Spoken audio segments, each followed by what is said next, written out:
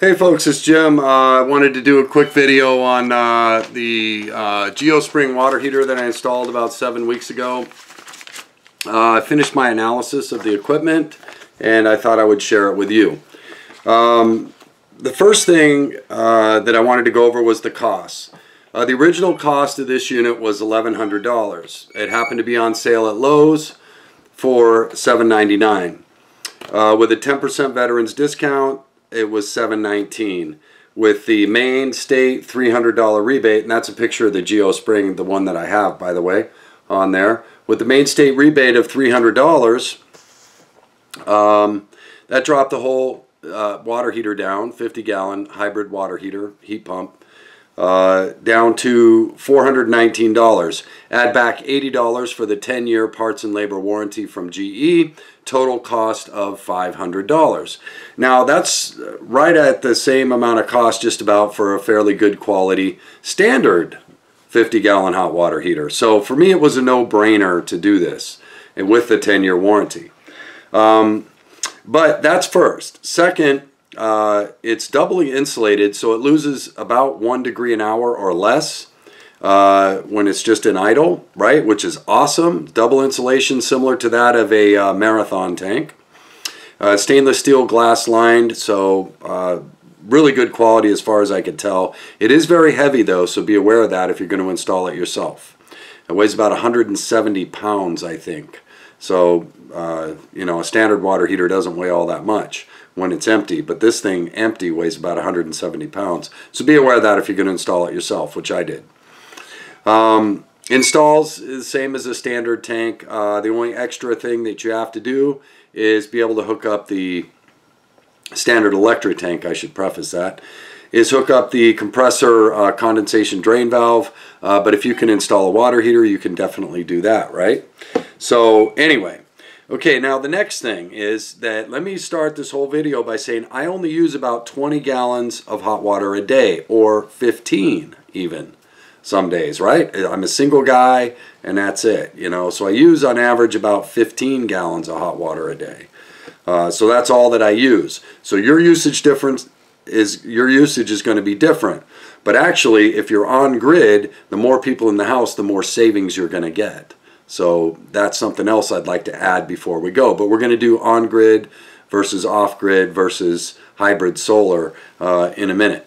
Okay, um, I because of my experience with this, it saved me 100 kilowatts in the first full month that I've been able to use it. Uh, I just got my electric bill and I run a hybrid system on grid off grid. So my first full month on, it dropped my kilowatt usage 100 kilowatts. Awesome. Do the math on that, how quick the payback is. My friend Jared, who has a wife and a daughter, his is saving him 170 to 200 kilowatts monthly. Now do the math if you've got a small family. Okay, now we keep ours in heat pump mode. So you got to kind of time things out. Um, you know, you don't want to overuse it or you're going to have to put it in hybrid mode so you can use those elements to refresh it quicker. But if you stagger your showers and you know you're on a good routine, the heat pump just keeps right up. And he is now he hasn't had to take his out except for when uh, the in-laws come or something like that and they've got five people in the house. Then he puts it in hybrid mode. But even with three people, uh, Jared's been able to run strictly in heat pump mode. Okay, so that's just to preface everything. What I found was is that the compressor runs at about 500 watts. I believe I haven't metered it out yet. Um, I'm actually going to put its own meter on this. Uh, but I believe that's what I read. And it seems apparent that it's either doing that or something. Uh, so it runs for about an hour to an hour and a half twice a day. That means I'm using about 750 watts per cycle, total of 1.5 kilowatts a day. Now my old system ran about 4 kilowatts is what the old one used, okay? Um, when I would turn it on, I turned it on and off. Uh, since I'm a single person, I could do that on demand. I would use my elements and then I would shut it down um, and then I would turn it back on because uh, I'm gone a lot. So for me, it worked more efficiently that way. Um, but this is this is amazing me that it saved me 100 kilowatts anyway, and I'm a single person. Okay, and with your two or three people, it's going to save you around 200 kilowatts a month. That's absolutely blowing my mind. I didn't think these things were really that good, but they are, apparently. Okay, now, so that's 1500 watts uh, total consumption. My 21 cubic foot refrigerator, to give you an idea, uses one kilowatt of energy a day. That means my hot water heater now is almost as efficient as my refrigerator. That is blowing my mind, ladies and gentlemen. Okay? And it's a 50 gallon tank. Now, it's not heating 50 gallons a day, obviously, but it shows you how well insulated this tank is, that it's that efficient. It's, a, it's amazing. I'm absolutely, I'm very happy, very pleased anyway. And my payback will be about three years for this item at our electricity costs here in Maine at that 100 kilowatts a month, 1.2 megawatts a year. I want you to think about that. In Jared's case, 2.4 megawatts a year. Do the math on the payback time, people. Anyway, so that's if you're on grid, da da da, right? But now, me being a solar, let's get into that. Here's what fascinated me. In every solar system, we have to have a delta, a dump load, correct? Okay. That being said, what better place to put your delta than into your hybrid hot water heater? Since it's drawing only 500 watts, your amps have dropped down. Now, don't I'm not absolutely positive about that, but I'm pretty sure it seems to be working out that way. So, um, you know, it's a lower amp draw. So now electric hot water is actually doable via solar systems, okay? And that blew my mind that this is real. Technology has arrived at the point where everything in our homes is becoming so efficient that uh, we can actually do this. Um, and, you know, think about it. If you're running a small generator, now just think of the load that got dropped off to make hot water. Isn't that awesome? Now, while other people have solar hot water systems and big 500 gallon tanks and all that, if you did that, that's great.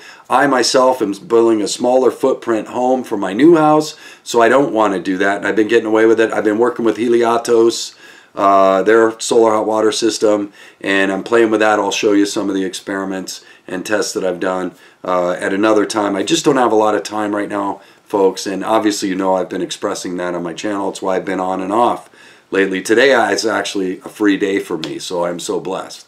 So that's why I'm doing all these videos now, because you may not see me again for another month. But anyway, um, so our delta, we've always had a delta anyway if you're a solar producer. Uh, energy only changes form. It never goes, disappears, okay? Energy just changes form, all right?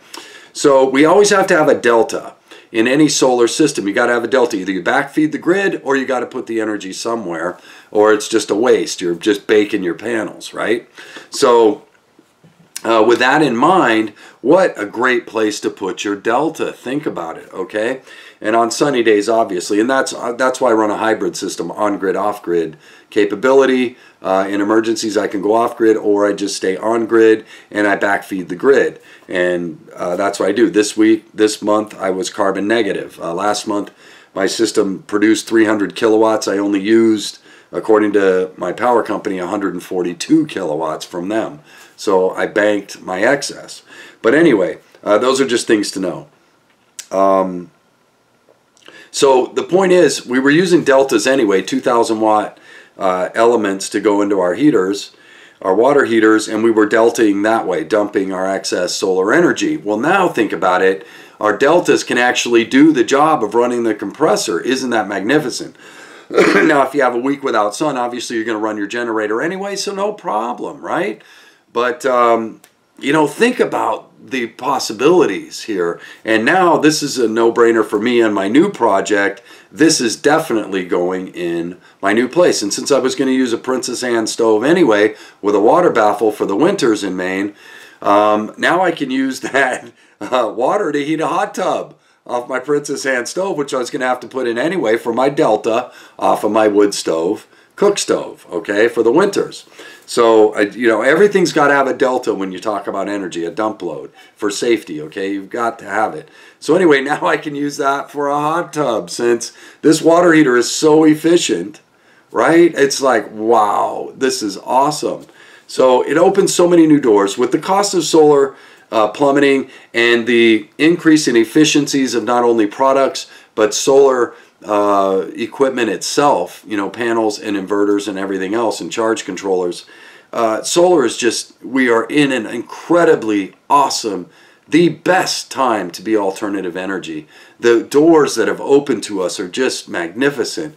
And I hope that uh, I'm coming across well and you all can hear and understand it and I'm being clear about it. Um, if, if you haven't installed one of these water heaters and I would strongly recommend it just from my experience, even if you're not solar. But if you are solar, wow, think about it. Your delta every day will cover a cycle in this heater without a doubt. You know what I mean? Um, just awesome. Now I only use 20 gallons a day, remember, as a single person, 15 to 20 gallons a day. Your results will be different if you're off grid and you have a couple of people in your home. So don't think you're going to be able to do it. But let's face it, you run your generator when the sun's not out anyway. So um, not a big deal. Uh, and I'm not one, I don't want to be on propane for anything in my new home. Uh, I believe that's still being a slave to the machine. So I don't personally agree with propane. I know some of you, due to necessity, have to. But I think of it this way if I'm relying on anybody or anything to come to my house to keep me going in an SHTF scenario, I've already lost. So that's why I'm doing things the way I'm doing. And if it is SHTF, I don't care if I go a few days without hot water. I'll wait till my Delta day comes. Because if you're truly off grid and a homesteader, you're already doing that anyway. You know what I'm talking about. But when you do have Delta, what a beautiful place to put it. So anyway, I just wanted to share this. Um, uh, I hope all this is making sense to you. But anyway, it's only using 1.5 kilowatts a day. I've saved 100 kilowatts in one month. My friend Jared's saving 200 kilowatts a month. Um, just magnificent. Uh, I can't say enough about it. Um, these new hybrids, uh, it's just wonderful. These new heat pump water heaters. Anyway, uh, I hope I covered everything. I don't know if I did, um, but experience, strength, and hope. Jim out.